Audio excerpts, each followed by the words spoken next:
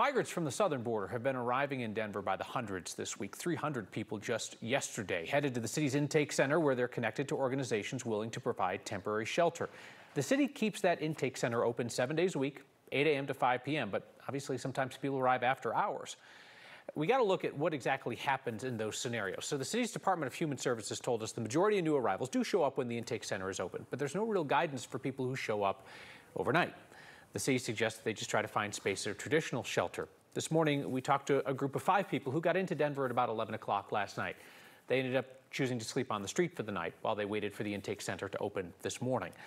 City run facilities are not currently being used to shelter migrants to other partner shelters that are currently sheltering nearly 1,900 people.